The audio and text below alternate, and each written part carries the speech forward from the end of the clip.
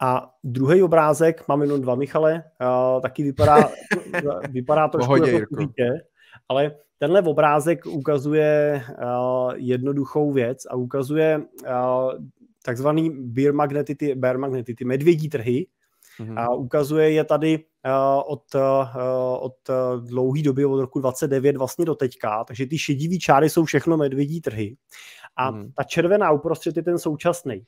A tady jenom na tom jsem chtěl ukázat to, že ten současný ve srovnání s těma minulejma není zas tak dramatický, co se nějaký hloubky týče. V podstatě se pohybuje někde, řekněme, v nějakém průměru, že není ani výjimečný do toho, že by byl malý, ani nějak jako extra hluboký, že by byl jako velký. Ale co je dobrý možná říct, že ta dílka toho medvědího trhu současného už je celkem dlouhá.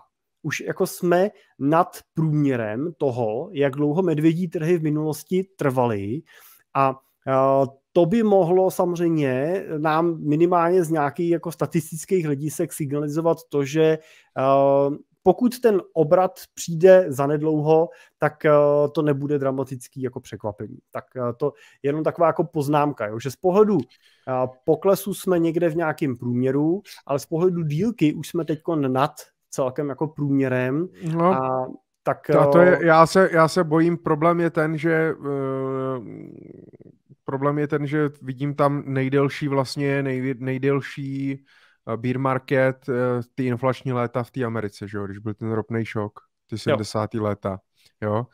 A, a tam byl právě problém ten, že vlastně se lidi dostali do toho, že tam bylo ty inflační očekávání a dostali se do té spirály. A až vlastně teda ten rychlej nárůst prostě těch sazeb na tu inflaci a uškrcení toho, tak se nějak to podařilo dostat eh, jakoby pod kontrolu. Takže já a, a je to ale návaznost na to, co, o čem se tady bavíme poslední 40 minut nebo 30 minut. Jsem zvědavý, jak se to bude vyvíjet dále. Opět, když se podívám, tak ona, ta dotcom bublina byla celkem vlastně rychlá, jo, uh, 29, 31, vlastně 29 krach na New Yorkských burze, tam to taky vlastně byla jako strašná, strašná rychlovka. A možná kdyby rychle narostla, kdyby možná rychle jako narostla ta nezaměstnanost, nějak to, se to trošku jako pročistilo a, a pak zase zpátky se to prostě nakoplo, tak to mohlo být možná mnohem rychlejc. A proto si myslím, že tolik ekonomů a odborníků jako volalo potom zvedněte ty sazby prostě ještě vejš.